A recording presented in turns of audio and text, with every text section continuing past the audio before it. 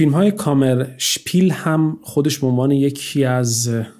ژانرهای مهم بعد از جنگ جهانی ازش یاد میشه. ولی ژانری که به نوعی بولتر هست به نوعی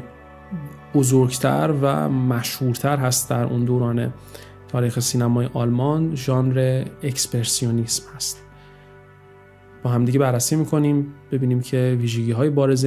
ژانر اکسپرسیونیست چی هست و چطور به وجود میاد.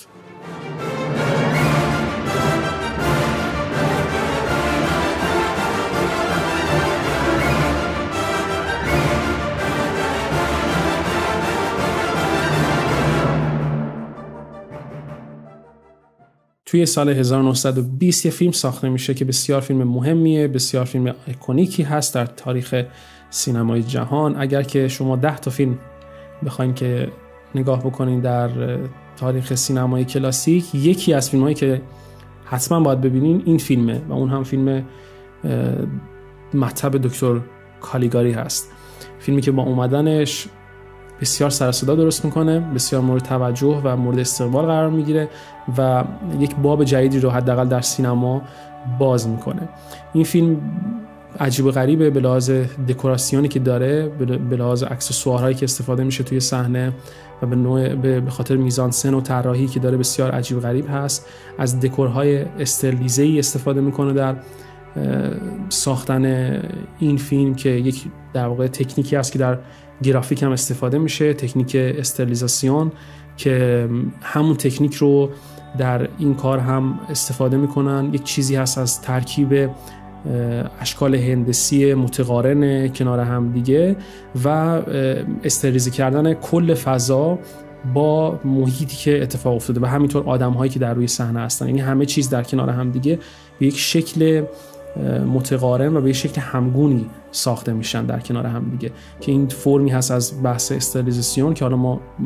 واردش نمیشیم به اون بحث خاص خودش رو داره. ولی با نگاه کردن به عکس های مطلب دکتر کالیگاری متوجه میشید که منظور از چی هست و اینکه چطور همه چیز همگان و هم شکل هم دیگه در فضای صحنه قرار می‌گیره. اکسسورهایی که استفاده میشه یا میزانسن و در واقع طراحی صحنه که استفاده میشه خیلی شبیه تئاتر هست. میان و روی پرده نقاشی می‌کنن اون طرحهایی که می‌خوان اون فضاهایی که می‌خوان درست بشه و می‌ذارن پشت سر بازیگرها و با استفاده از دوربینی که داره از روبرو فیلم برداری می‌کنه این فضا به حال همگون میشه و در کنار همدیگه این همگانی رو به وجود میاره. علاوه بر دکوراسیونی که وجود داره در فضای صحنه دکتر کالیگاری بازیگران هم به شکل خیلی تئاترگونه بازی می‌کنن. هیچ شکلی از تلاشی از بازی های واقعی گرایانه یا ناتورالیستیک وجود نداره در بازیگرانی که در فیلم های این, این شکلی دارن کار می‌کنن که بابی هست در واقع فتح بابی هست برای بحث سینمای اکسپرسیونیسمی. و این این بازی هایی که داره اتفاق میفته به شکل بسیار عجیب و غریب اغراق‌آمیزه. شاید ما اگر که مثلا امروز این فیلم ها رو نگاه می‌کنیم احساس می‌کنیم که خیلی داره اغراق میشه در بازی ها خیلی اصلا فراتر از بحث تا تئاتر هم داره جلو میره با توجه به که دوربین توانمندی اینو داره که به بازیگرها هم نزدیک بشه و معمولا در فیلم های اکسپرسیونیسمی اکسپرسیونیستی در واقع دوربین نزدیکتر هم میشه به بازیگران و با کلوزاپ های خیلی نزدیک بازیگرها ما مواجه میشیم و این بازی های آمیز چندین برابر میشن روی پرده سینما مسلما. ولی فیلمسازان اکسپرسیونیستی در اون دوران به نوعی آگاه بودن از این کاری که داشتن می‌کردن یا حداقل در کاری که در مطلب دکتر کالیگاری در انجام میشه با آگاهی داره اتفاق میفته و دلیل داره به خاطر بحث خود مکتب اکسپرسیونیسم هست و کاری که اون مکتب داره می‌کنه که حالا در رابطه باش صحبت خواهیم کرد. منتها من ویژگی های مطلب دکتر کاریگاری رو عرض کردم خدمتتون و اشاره کردم که چه ویژگی های خاصی داره. اما چیزی که می‌تونیم در رابطه باش صحبت بکنیم اینه که منتقدینی هستن در واقع صاحب نظران و منتقدینی هستن که اشاره می‌کنن که اکسپرسیونیست یا کارهایی که اکسپرسیونیستی هستن قبل از دکتر مطب دکتر کالیگاری هم وجود دارن که این حرف خب بیراه نیست و خب این مکتب در هنر وجود داشته در سده 19 که به حال نقاشان خیلی زیادی کار می‌کردن و مثلا تاکید خاصی داشتن روی بحث‌های ناتورالیستیک یا اینکه مثلا استفاده از شکل‌های امپرسیونیسمی سبکا و کارهای در واقع که انجام می‌دادن. اما با چرخش قرن از سده 19 به سده 20 به نوعی معلفین کارهای اکسپرسیونیسم میان و این نوعی دهنکجی می‌کنن به تمام این واقعگرایی که معلفین کارهای امپرسیونیسم دارن ارائه میدن. یعنی مثلا شما اگر که پرسپکتیو صحنه ها رو نگاه بکنید می‌بینید که اصلا چیزی به عنوان پرسپکتیو صاف ما یا در واقع بالانس در افق مثلا یا اون چیزی که هورایزن بالانس مثلا ازش اشاره می‌کنن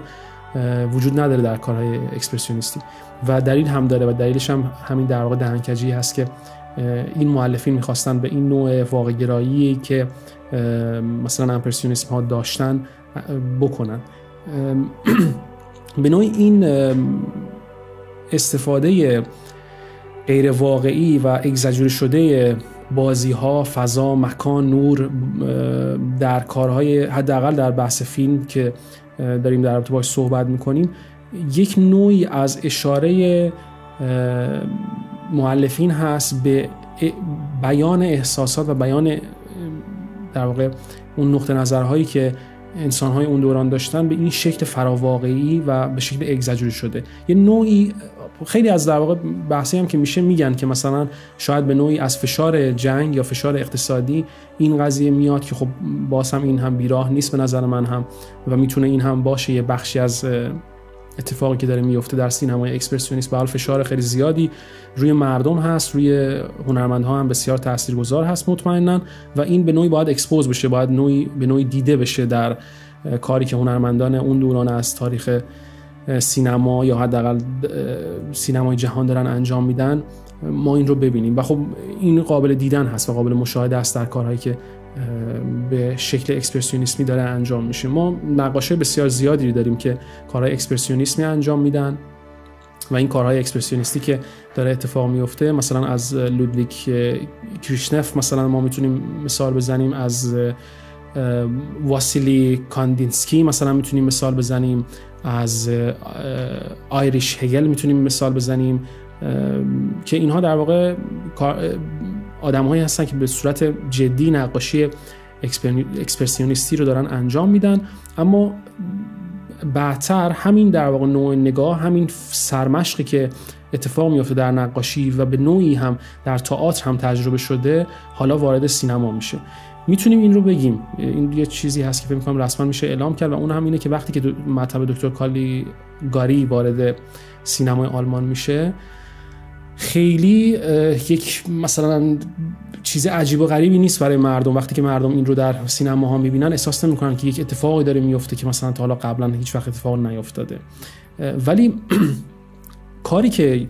چیزی که در واقع مطب دکتر کالیگاری رو مهم می‌کنه این هست که این فیلم فتح باب هست. این فیلم باز می‌کنه درهای اکسپرسیونیست رو به سینمای جهان و اجازه میده که اون متدهایی که استفاده شدن در نقاشی و در تئاتر اکسپرسیونیستی حالا وارد سینما هم بشن.